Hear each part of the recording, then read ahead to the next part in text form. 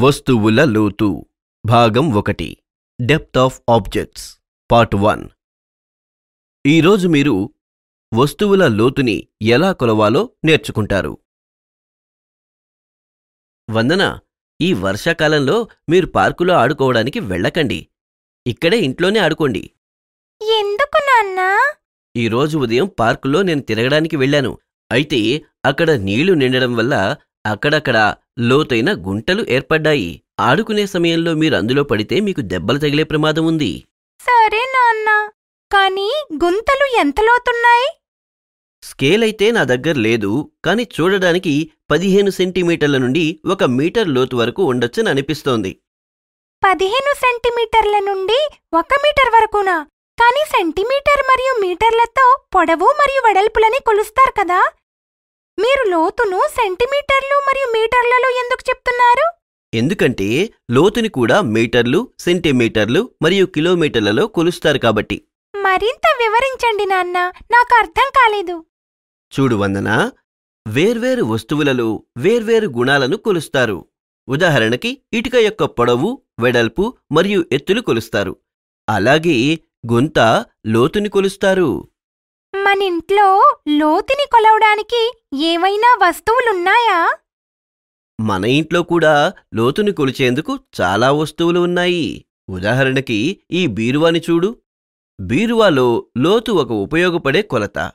ఎందుకంటే బీరువా యొక్క లోతు ఎంత ఎక్కువుంటే అందులో అంత ఎక్కువ సామాను పెట్టడానికి ఎక్కువ స్థలం ఉంటుంది. అవునా?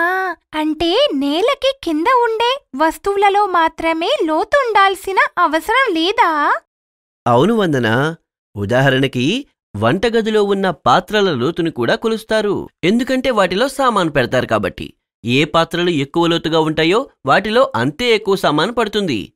ఏదైనా వస్తువు యొక్క లోతు దాని ఉపయోగాన్ని బట్టి పెరుగుతుంది. విధంగా ఇంకా ఏ ఏ వస్తువుల లోతుని కొలుస్తారు? చూడు గుంతలు బీరువా మరియు పాత్రలు నువ్వే వస్తువుల బరువుని కొలవాలో చూసావు కదా. అదేవిధంగా బావి యొక్క లోతును కొలుస్తారు సముద్రం యొక్క లోతును కొలుస్తారు చెరువు యొక్క లోతును కొలుస్తారు ఇంకా కుండీ యొక్క లోతును కూడా కొలుస్తారు. అవునా? వీటన్నిటి లోతు సెంటీమీటర్లు మరియు మీటర్లతో కొలుస్తారా? అవును.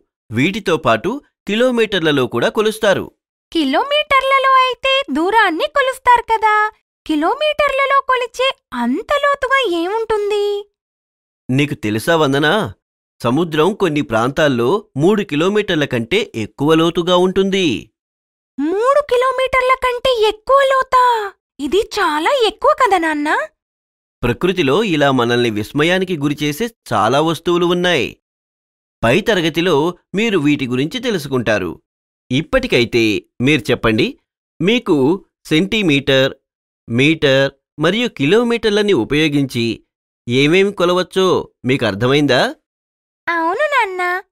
వస్తువుల పొడవు వెడల్పు ఎత్తు లోతు మరియు దూరాలని సెంటీమీటర్ మీటర్ మరియు కిలోమీటర్లో కొలుస్తారు.